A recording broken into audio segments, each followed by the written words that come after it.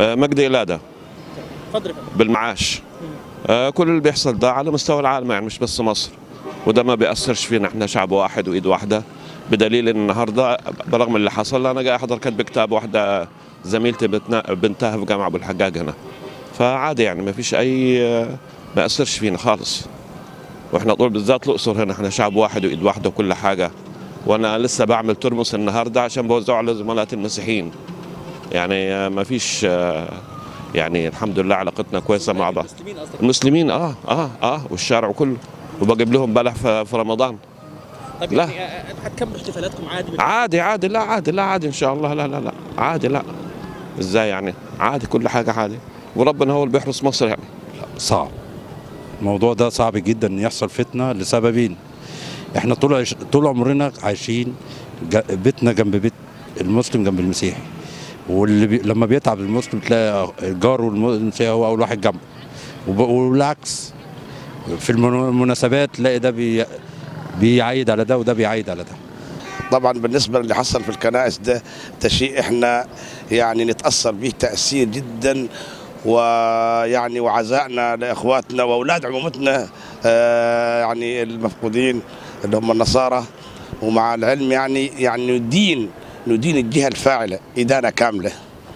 لكن من ناحية التأثير والله طبعا هو ربنا بيفصل يعني إحنا ناس آه، يعتبر كحكومة وكشعب والله والله العظيم النصارى دول إخواتنا وأولاد عمتنا بنحترمهم يحترمونا وجينا جينا مت يعني جينا محترمة جدا جدا. والله الكلام ده طبعا كلام آه، يعني حديث علينا إحنا في مصر أو كده. وبعدين الحاجة الثانية إحنا فصيل واحد وشعب واحد يعني إحنا هنروح فين من بعضينا مثلا؟ الكلام ما يصحش ده ما يصحش صح يعني إيه طيب وبعدين يعني طب وآخرة الحوادث ده إيه؟ إيه آخرها إيه؟ يعني إيه يعني إيه الثمرة؟ إيه الثمرة اللي بيعمل كده ده هيعمل إيه يعني؟ إيه الثمرة بتاعت كده يعني؟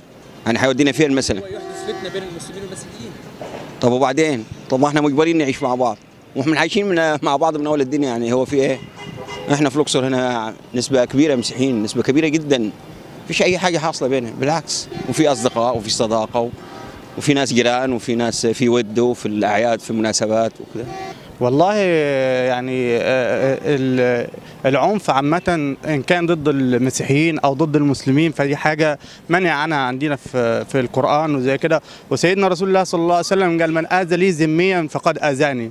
فهو لما بيأذي واحد ذمي أو هو من أهل الكتاب أو كده فهو بيأذي رسول الله صلى الله عليه وسلم.